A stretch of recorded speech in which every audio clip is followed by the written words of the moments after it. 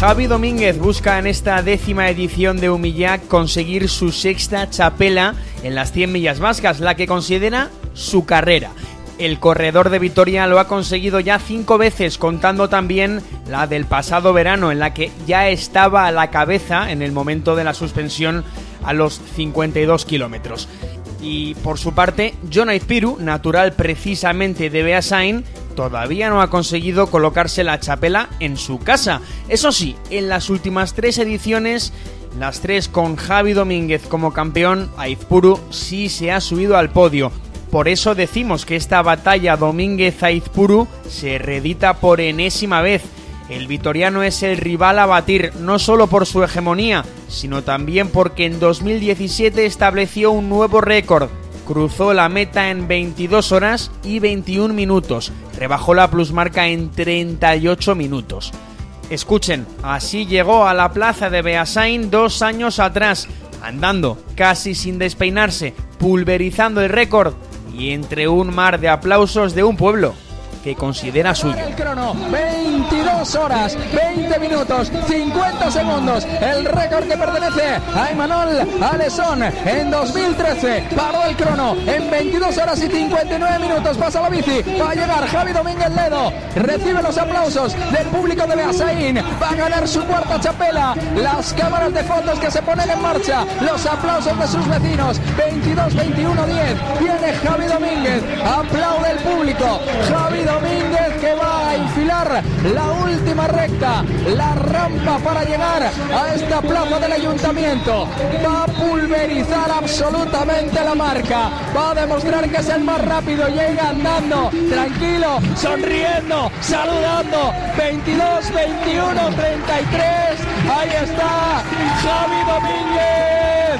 Ganó Millac 2017 tetracampeón de Javi Domínguez, cuatro veces campeón de Humillac, el hombre que bate el récord, 22 horas, 21 minutos. Vaya animalada, vaya animalada. Ha rebajado el récord en 38 minutos en 38 minutos. Eso es pulverizar una marca, destrozar absolutamente el récord. Se lleva los aplausos del público que está en esta plaza de Beasaín. Ahí está Javi Domínguez. Y tras su éxito, hablamos con él y ya nos advirtió una cosa que debemos de tener muy en cuenta para esta edición se le puede toser, no es una máquina, no es especial. Algún día caerá esa hegemonía. Bueno, eh, la gana yo, pero bueno, que eh, por eso me puede toser. O sea, la gente. yo no me siento especial, aunque en la carrera según vaya pasando a gente me van diciendo soy eres una máquina, eres una máquina y siempre pienso máquina de qué, solo es correr, ¿no? Pero bueno.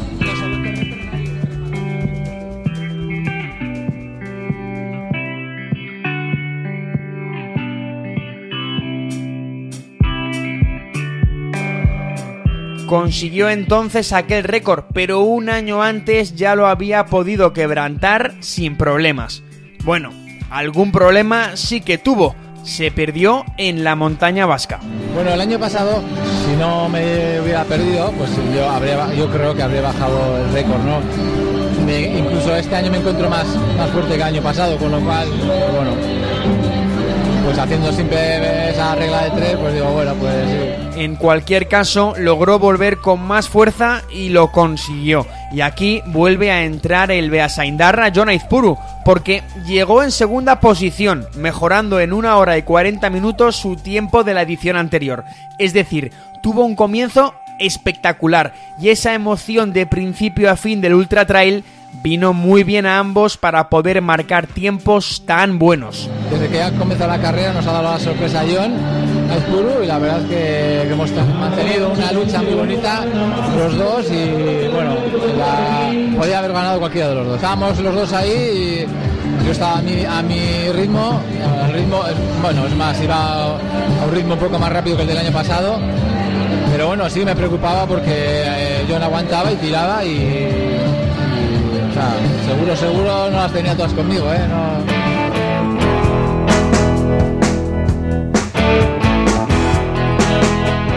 Así que también teníamos que hablar con John Aizpuru. Su discurso era el de la humildad, el de alguien que no se veía todavía a la altura de su rival. Cambió su método de entrenamiento para poder cuajar una buena prueba nos contó en qué consistía su nueva forma de entrenar. Este año, además de la frecuencia cardíaca, pues también hemos trabajado un poco la potencia. Eh, mucho trabajo gimnasio y al final pues eh, trabajar intensidad. Al final mis entrenamientos no son son duros, pero no son tiradas. la tirada más larga que he hecho este año ha sido una carrera de 50 kilómetros. Y trabajó duro, y de ahí su mejora en el tiempo. Pero en ningún momento de la carrera me he visto como vencedor de la Milla 2017. Javi dice que sí, que, Javi dice que sí que te ha visto, ¿eh? Pues no, porque no, no hay color entre los dos. Yo sabía muy bien cuáles eran mis mis virtudes y cuáles son mis limitaciones. Yo empecé en esto de las carreras cuando empezó la humilla y ver a esos que subían al podio y de repente tú estás con ellos, pues es súper bonito. Aún así, no estuvo desde luego lejos de conseguirlo. John llegó a un habituallamiento y preguntó por el paradero de Javi Domínguez, a lo que le contestaron que Javi todavía no había pasado por ese punto de control. Y es que el campeón se había perdido. Otra vez, sí, como en la edición anterior. La diferencia es que esta vez la confusión no retrasó demasiado al vitoriano y cuando John Aizpuru quiso darse cuenta, Javi Domínguez pasaba como un resorte por aquel habituallamiento para cargar los víveres necesarios y continuar su marcha. Nos confesó también que el terreno, cuando cae la noche, empeora y de qué manera, y eso es peligroso para los corredores. El terreno estaba jodidillo. Hay muchas bajadas, como sabéis aquí mucha gente va al monte y vamos tanto al monte que ya gastamos hasta el monte. Entonces ya está la piedra ya que resbala un montón. Entonces a la mínima que entra un poco de niebla, se moja la piedra y sea, yo me he caído cuatro veces y doy gracias de que no, no me he dado ni con la cara ni nada, me he dado con el culo, pero mañana sí ya veremos.